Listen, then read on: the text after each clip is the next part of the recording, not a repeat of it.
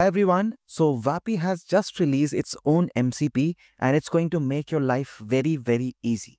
And in this video, I'm going to show you the easiest and the most amazing no-code way to implement it right now in your AI caller. But before that, let me explain what an MCP is. Let's say your agent has to uh, request something or send a message to a Slack or an email or something else. Earlier, you had to find out the APIs of each and everything separately, implement them in your automations and interact with them using tool calls.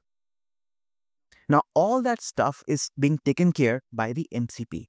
So if I have to explain it simply, MCP is just tool calls which are powered by AI or AI agents. Let me show you exactly what I mean. So I go to my Vapi uh, dashboard and I go to tool section and I create a new tool and I'll choose the MCP. By the way, we have all these new tools available right now in Vapi and Vapi has changed and improved drastically because earlier we had to code all of these tools manually but now we have everything inbuilt and life is so much easy. So I'll go to the MCP and and here I have my MCP tool available. Now all I need would be this server URL which I'll get from the Zapier's MCP page. Just right here. I'll also provide the link to this page in the description. So you just have to create a URL and copy this and go back to Vapi and paste it right here. That's it. That's all you have to do. Now you click save and we come back to Zapier. Now we have to define the actions that this MCP is allowed to take. So for that, we have to go to configure actions right here and here I have configured these actions. You can create a new one like this. So let's say I create a new action right here. And I will search, let's say, send message in Slack. And like this, you can add this channel and then the MCP will be able to communicate with this without you having to code all of this manually using Slack APIs and whatnot. So imagine how much time you are saving right now with all these MCPs that you're learning from this video. So anyway, let's go back. And for this demo, I'll just have this Gmail node uh, available. For, so I have uh, configured this Gmail for my MCP and the action is send Gmail. The account is this and to subject and body, all of these will have to be filled by the AI, which would be our Vapi assistant. So all of this would be dynamically done as I'll show you right now.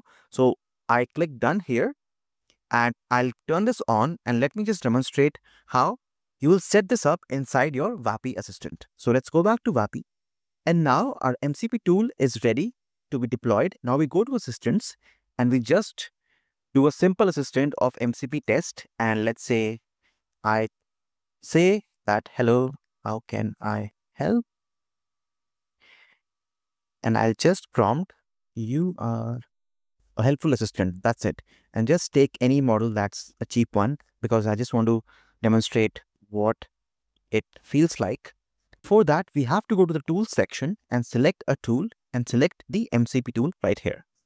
And this is saved. Now we go back to the model and we just start talking to our agent.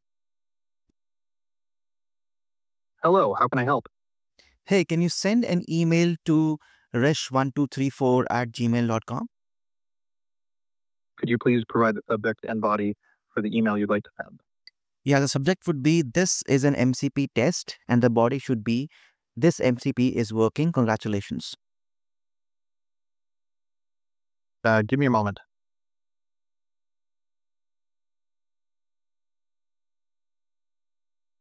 The email has been sent to resh1234 at gmail.com with the subject, this is an MCP test, and body, this MCP is working. Congratulations. All right. Thank you. You're welcome.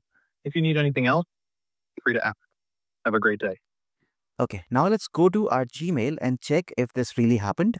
Now let me go back to Vapi and just show you how everything happened. So we are back here.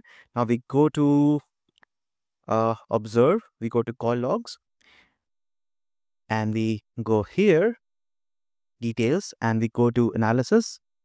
Sorry, we go to messages and here we should have a tool call that was called when the MCP was engaged. Yeah, so this was the tool call that was called by uh, Vapi with Zapier and this was what happened as we had instructed the MCP server to do. So likewise, you can add any number of services inside one MCP node and all you have to do is to just connect that MCP to any of your voice AI agent and everything would be done for you like that. Isn't that amazing? By the way, Vapi has changed a lot. They have really upped the game and there have been many, many updates to the platform, which I think I should make a, a video about. If you also want me to do that, drop in your comments but I hope this MCP demo was useful and I hope this saves your time and I hope it gives you a lot more leads and clients. And if you want to see how to exactly make voice AI agents that convert, you should see those somewhere on this video right now. That's all for today. I'll see you in the next one.